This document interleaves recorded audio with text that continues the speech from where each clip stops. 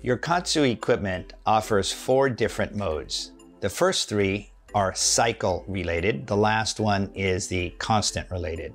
I'll explain all four. First one is the cycle mode. Second one is the progressive cycle mode.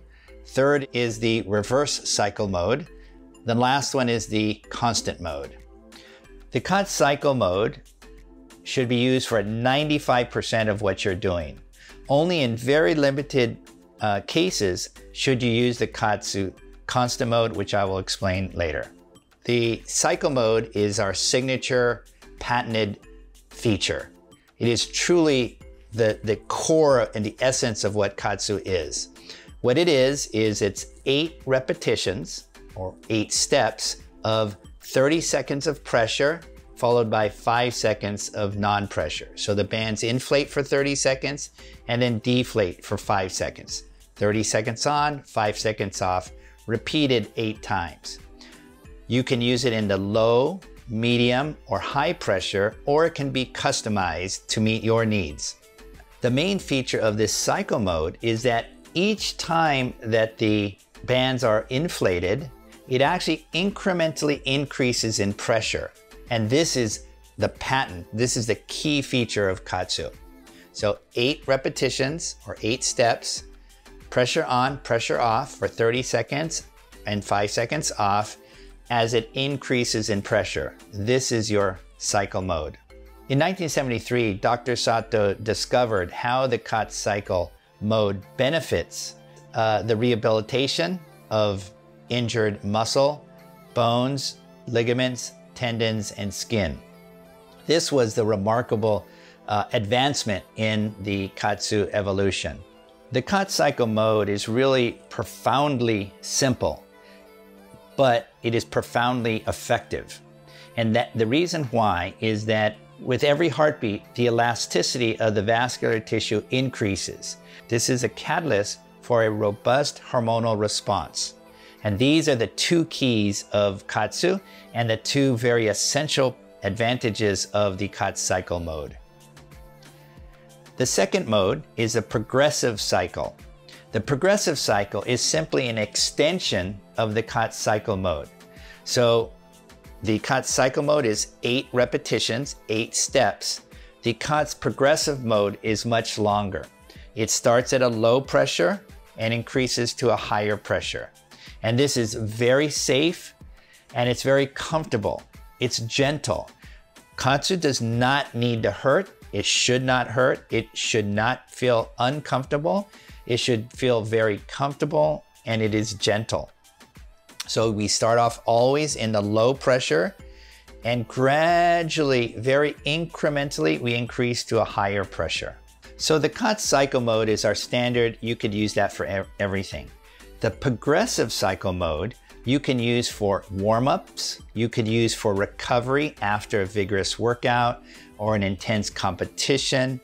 You can also use it for uh, jet lag mitigation. So in other words, before you get on an airplane or after you get out, out of an airplane, use the progressive cycle mode. It's very gentle, but its gradual increase in pressure is extremely effective. You can also use it after work or after a day of hiking. Uh, any time that you are putting your mind or body under extreme stress, use the progressive cycle mode. Starts off low and ends up higher. You can also use a progressive cycle mode at the end of a workout that you may be doing. For example, let's say you enjoy uh, strength training in a gym, or let's say you enjoy uh, a long bike ride. Anything where it's a sustained um, duration of exercise. Use the progressive cycle mode at the end of that workout as a finisher, as really to, to culminate a great workout. The newest feature of our KAATSU products is reverse cycle mode. This is the exact opposite of our cycle mode and our progressive cycle mode. In the case of the cycle mode and progressive cycle, we start off at a low pressure and we increase incrementally to a higher pressure. In the reverse cycle mode, we start off at a higher pressure and then we come down to a lower pressure. The only time you should really use this is after a, a long hike, um, uh, a, an intense workout, um, a long cycle, you name it, and uh, uh, a long bike ride. Anytime that you your body and your vascular system has been stressed and exercised, then you can start off at a higher pressure and go to a lower pressure. So this is a post-workout, post-competition mode that a lot of competitive athletes will very much enjoy. Uh, one key point of the reverse cycle mode is prior to doing any reverse cycle mode, you should always do the cycle mode or the progressive cycle mode. So sort of think of it as a pyramid. Start off low, go to high. Once you're at high post workout, then you can come low. So the KAATSU constant mode previously had a lot of attention in the BFR market. We use KAATSU constant in only limited situations. And that is when you're doing some complex movement. It could be something like a golf swing, a baseball swing, throwing a, a, baseball, throwing a football, kicking a soccer ball, or some very complex movement that you're doing with a physical therapist where the tubes could get in the way. It's a very limited amount of movement or exercise where you can get a, a lot of blood in a limb for a limited period of time. What is that limitation? Anywhere from five to 10 minutes max. You can also use the KAATSU constant mode in limited situations when you're in the water.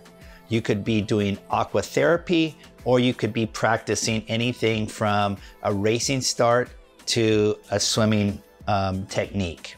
In these cases, you always need to do the cut cycle before you get in the water, always 100% time. And then you can inflate the bands to a certain pressure and use KAATSU in the water for a very limited period of time. The KAATSU controllers are not waterproof. The KAATSU bands are. So you could put the bands in the water and do various forms of KAATSU Aqua. The KAATSU Aqua does not work with our B series. KAATSU Aqua only works with the connected bands that we have in our C series, the C3 or the C4. To do KAATSU Aqua in the C series, the C3 or the C4 product, you inflate the bands to a certain level, then you disconnect the tubes from the bands and then you can enter the water. It is very important to note that when you use KAATSU in the water, you should inflate to about 50% of what you use on land. So always use a lower pressure in the water than you do on dry land. KAATSU Aqua also should be limited in time, just like in the dry land constant mode, no more than five to 10 minutes maximum. Uh, there is one major misunderstanding in that the KAATSU constant mode, where you just have the bands inflated to a set pressure and you're exercising, many people think this is the optimal use of KAATSU. That is absolutely false.